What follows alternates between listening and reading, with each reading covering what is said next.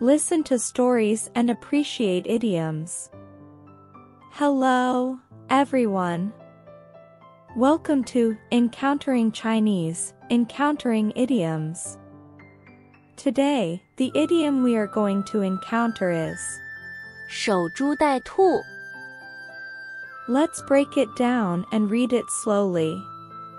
守株待兔， 守、株、待、兔。守株待兔，守 means to guard or to watch over. 株 refers to a stump. 待 means to wait. 兔 refers to a rabbit. 守株待兔。Literally means guarding a stump and waiting for a rabbit.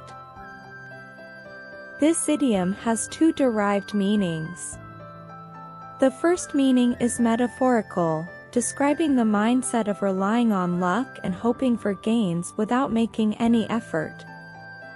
The second meaning metaphorically represents the lack of adaptability and resourcefulness due to insufficient experience.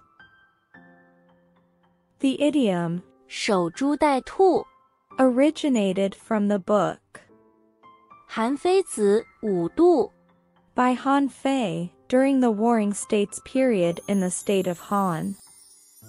The original text states 宋人有耕田者，田中有株，兔也，触住折颈而死。The meaning of this phrase is that there was a farmer in the state of Song who was tilling his land when he noticed a stump in the field. There was a rabbit that accidentally ran into the stump and broke its neck, resulting in its death.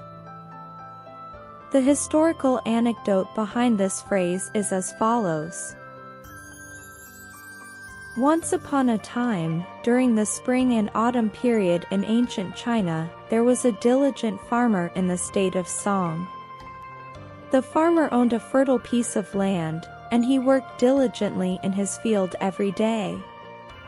As a result, his family had a good harvest every year. Within the farmer's field, there was an old sturdy tree stump.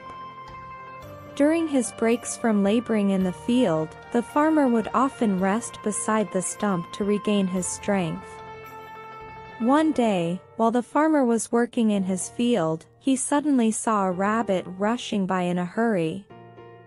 The rabbit seemed to be chased and completely oblivious to the large tree stump in the farmer's field.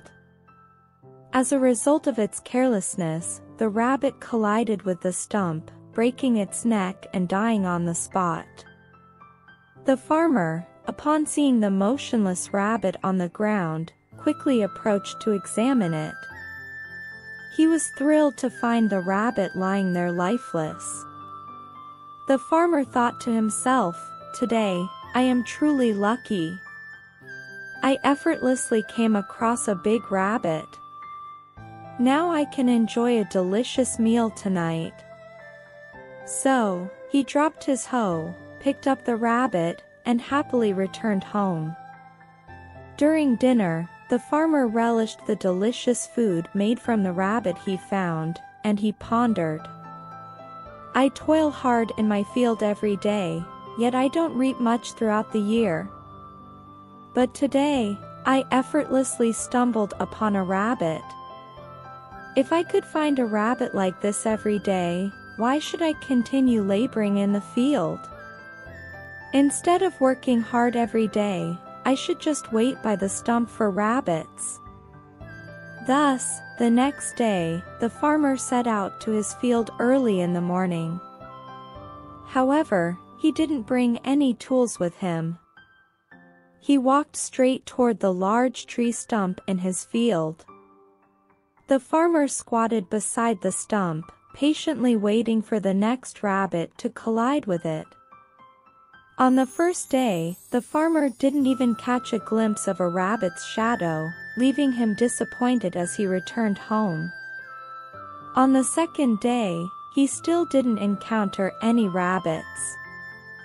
The farmer continued this routine, day after day, waiting faithfully by the stump. However, he never witnessed another rabbit meet its end by colliding with the stump. As the farmer persevered in his vigil by the stump, his neglected field became overrun with wild weeds, gradually turning barren. Despite this, the farmer remained steadfastly by the stump, firmly believing that he would eventually encounter a rabbit. Concerned by the farmer's behavior, the neighbors visited his home and advised him to continue working in the field, explaining that waiting for rabbits was not a wise approach. However, the farmer obstinately insisted that if he waited a little longer, a rabbit would surely come. In the end, the field was completely abandoned, and the farmer still hadn't encountered a rabbit. The farmer realized the severity of his mistake and deeply regretted everything he had done. He understood the foolishness of his stubbornness in waiting by the stump. However, it was already too late to resume farming as he had missed the optimal planting time. In this story, the farmer clung to a mentality of relying on luck and avoiding labor hoping to effortlessly catch rabbits that would collide with the stump. This is the origin of the idiom, 守株待兔. There is another story. Once upon a time, during the Warring States period in ancient China, there was a renowned military strategist in the state of Qin named Bai Qi. Bai Qi made numerous contributions to the state of Qin and was one of its most outstanding generals. He achieved multiple victories on the battlefield, leading the Qin army to become increasingly powerful and continuously conquering neighboring states. However, despite Bai Qi's impressive military achievements, he encountered difficulties when attacking the capital of the Zhao state, Han The defender of Han General Lian Po, was an exceptionally intelligent and adaptable leader. He utilized the unique characteristics of Han city layout and employed more flexible tactics. Lian Po ordered his soldiers to set up ambushes in the Jieting area and employed guerrilla warfare methods against Bai Qi's army. The guerrilla tactics proved effective. Due to the unfamiliar terrain, Bai Qi's forces were unable to locate the Zhao army accurately, leading them to fall into a predicament. This historical event is known as the Crisis at Jieting. However, Bai Qi failed to realize the predicament he was in. He persisted in following his established experience and strategies, which resulted in severe losses for his army, and the situation became highly unfavorable. Observing this, other generals in Bai Qi's army reminded him, saying, General, look! General Lian Po's army is not large in number, but they are familiar with the terrain in Han and have effectively utilized this advantage. We should change our current strategy and devise more effective methods of attack. If we do not change our offensive approach in a timely manner, we will not achieve victory. However, Bai Qi dismissed their advice. In his view, he possessed extensive combat experience and his own established strategies, and he saw no need for change. He believed that by relying on his past experiences, victory could be attained. Bai Qi stubbornly refused to change his strategy and continued to attack Han based on his previous experience.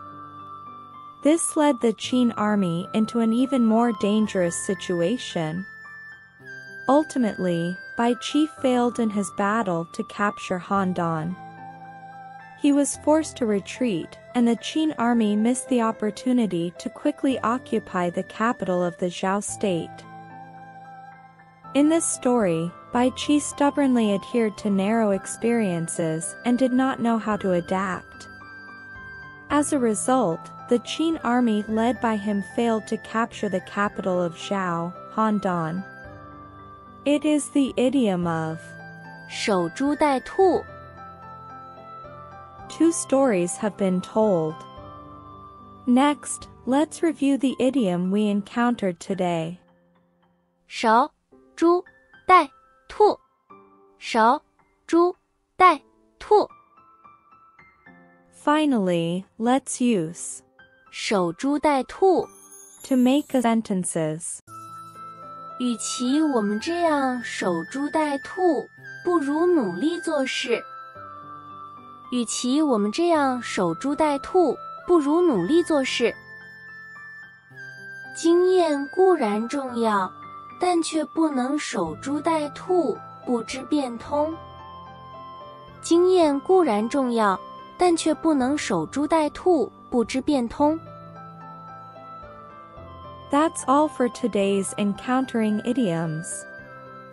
If you enjoy it, please like and subscribe. See you next time.